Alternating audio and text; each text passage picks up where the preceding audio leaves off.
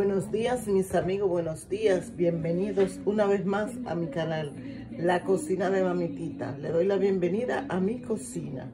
En el día de hoy vamos a estar preparando, o mejor dicho, vamos a, enseñarle cómo yo sazono una gallina.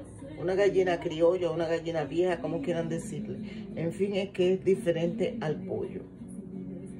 Inmediato le vamos a mostrar ingredientes. Ok, mis amores, ya yo tengo aquí una gallina. Una gallina.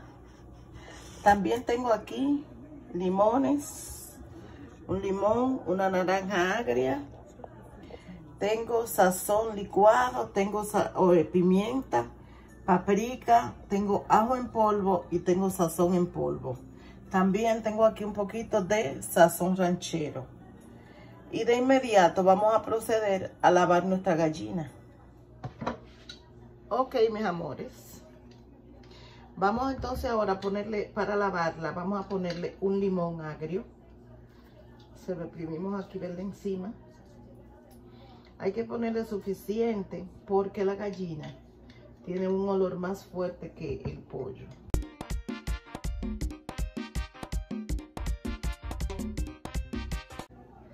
Vamos ahora a lavarla. Me gustaría que ustedes la vieran mejor. Entonces, yo le voy quitando todo, todo la grasita amarilla que tiene, porque la gallina tiene mucha grasa.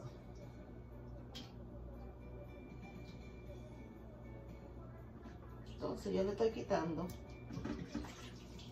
toda esa grasita. Déjenme mostrarle.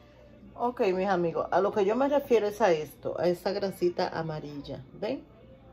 La gallina tiene una grasita amarilla.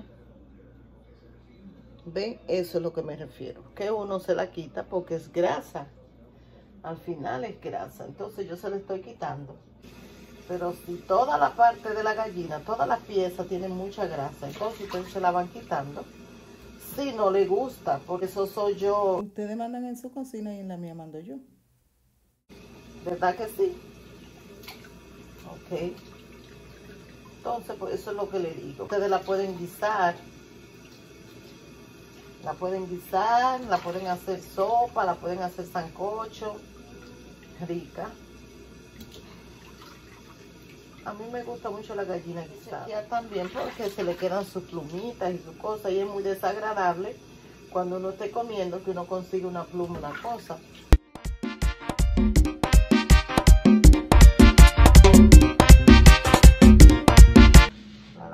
Otra vez, porque eso sí hay que lavarlo muchas veces. Para que se le vaya un poco ese olor tan fuerte que tiene la gallina. Entonces yo ahora, ya yo usé el limón, ahora voy a usar la naranja agria. Ya esta es la última lavada, se la voy a dar, se le estoy dando con la naranja agria.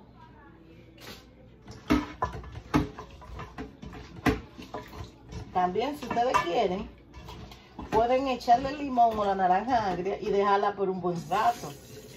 Pero como yo estoy haciendo el video rápido, ok, mis amores, entonces ya yo tengo aquí mi gallina bien lavadita.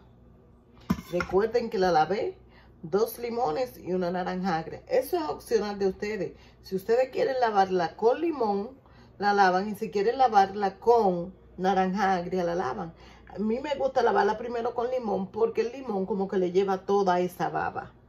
Entonces la naranja lo que hace es que le quita como el olor a la gallina, ese olor fuerte que tiene la gallina, y la deja un poquito que se le siente el sabor de la naranja. Disculpen mi gente, en este punto le iba a poner los ingredientes. Pensé que estaba grabando y la cámara se apagó y no me di cuenta. Agregué los sazones y mezclé y aquí están los resultados. Miren, miren qué precioso se ve esa gallina y así huele.